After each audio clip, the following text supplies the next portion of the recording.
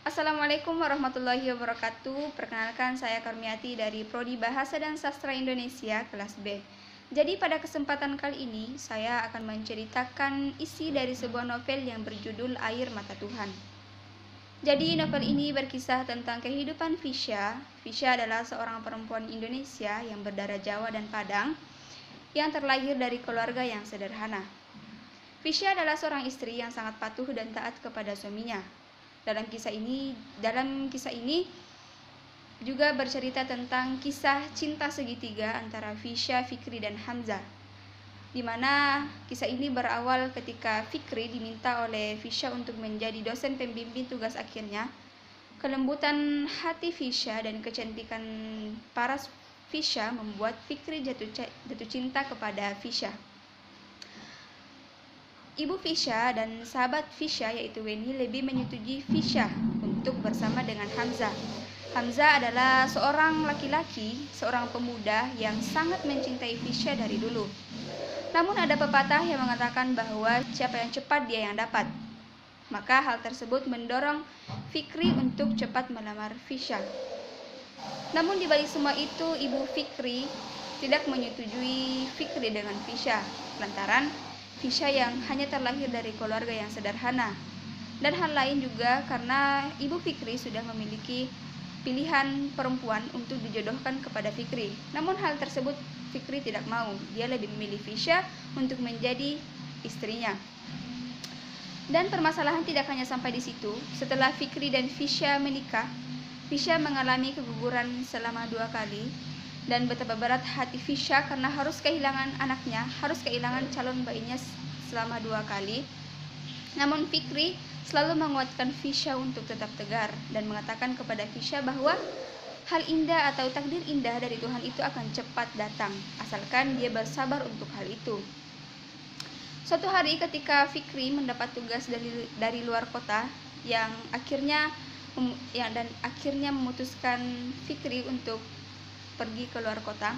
Pada saat Fikri keluar kota, Fisha tiba-tiba drop. Akhirnya dia masuk ke dalam rumah sakit. Dokter mengatakan bahwa Fisha mengalami kanker rahim stadium akhir dan hal tersebut diketahui oleh mertua Fisha, mertua Fisha yaitu Ibu Fikri. Fisha hatinya sangat terpukul dan meminta Ibu Fikri untuk merahasiakan hal tersebut dari Fikri lantaran dia tidak mau Fikri terbebani akan hal itu. Sampai kemudian Fikri balik dari luar kota, dia mengetahui bahwa Fisha masuk rumah sakit. Akhirnya dia pun terburu-buru untuk rumah sakit. Namun Fisha mengatakan kepada Fikri bahwa dia baik-baik saja. Hal tersebut kemudian dipercayai oleh Fikri bahwa memang Fisha hanya baik-baik saja. Di balik sakitnya, Fisya merencanakan sesuatu yaitu dia ingin menikahkan Weni sahabatnya dengan Fikri. Meskipun hatinya berat untuk mengikhlas, mengikhlaskan suaminya, tapi dia lebih ikhlas ketika melihat suaminya bahagia dengan menggendong seorang bayi. Akhirnya Fisya pun berbicara dengan suaminya, berbicara baik-baik dengan suaminya akan rencananya tersebut. Awalnya Fikri menolak untuk menikah dengan Weni, namun Fisya berusaha meyakinkan bahwa ini adalah jalan terbaik agar dia bisa mempunyai seorang anak dan agar mertua serta Oma Fikri bisa baik-baik saja dan menerima dan menerima pernikahan tersebut.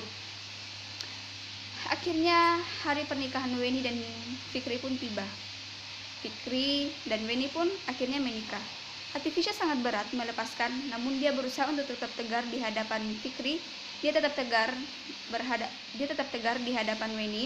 Dan satu pesan Fisha kepada Fikri dia mengatakan bahwa perlakukan Weni seperti engkau memperlakukan aku cintai dia seperti engkau mencintai aku. Hal tersebut sangat berat dilakukan oleh Fikri namun Fikri berusaha untuk mengiyakan hal tersebut. Sampai kemudian suatu malam suatu malam malam itu sangat sunyi sangat sunyi dan senyap Fisya kemudian jujur kepada Fikri bahwa dia mengalami kanker rahim stadium akhir. Fikri kecewa akan hal itu. Fikri sangat sangat sangat sangat kecewa kepada dia karena Fisya tidak jujur dari awal bahwa dia sedang mengalami kanker rahim stadium akhir. Tapi Fisya berusaha meyakinkan bahwa dia merahasiakan ini hanya agar suaminya baik-baik saja. Dan hal tersebut kemudian membuat Fikri menangis seperti memiliki rasa tidak ikhlas, namun dia berusaha untuk terlihat tegar di hadapan Fisya.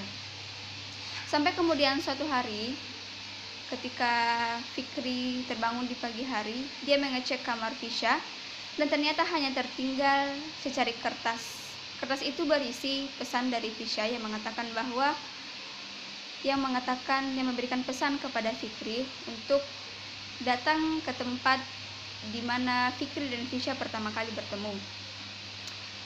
Fikri pun menuruti hal tersebut.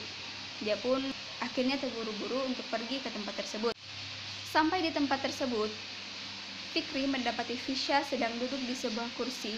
Kursi tersebut merupakan rancangan Fisya yang dulu menjadi tugas akhir Fisya saat perkuliahan.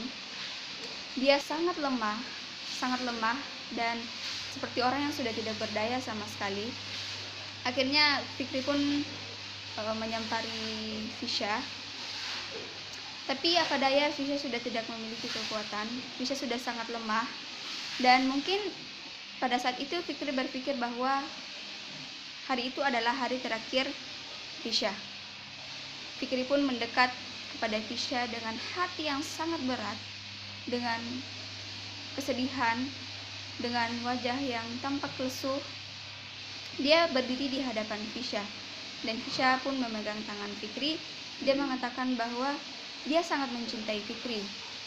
Dan pesan lainnya, dia menginginkan Fisya, dia menginginkan Fikri untuk mencintai Fisya, untuk mencintai Weni sebagaimana dia mencintai Fisya.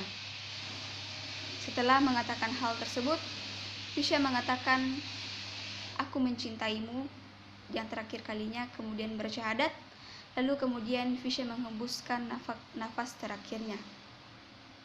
Hal tersebut membuat Fikri sangat terpukul, tapi dia berusaha untuk mengikhlaskan agar Fisya pergi dengan tenang.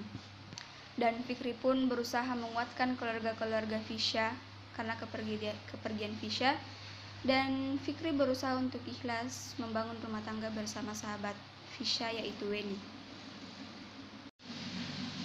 Adapun amanat yang bisa kita ambil dari novel tersebut adalah bahwa apa pun ketentuan Tuhan, apa pun takdir Tuhan, apa pun ketetapan Tuhan, kita harus berusaha mengikhlaskan. Entah itu ketetapan yang buruk entah itu ketetapan yang baik. Karena Tuhan tahu kapan kita harus bahagia kapan kita harus diuji kapan kita harus menerima cobaan. Namun segala hal apa pun yang terjadi di dunia ini kita harus selalu menghadirkan rasa ikhlas dan kesabaran dalam hati kita jadi kita harus selalu menghadirkan rasa ikhlas dalam diri kita. Sekian dan terima kasih. Wassalamualaikum warahmatullahi wabarakatuh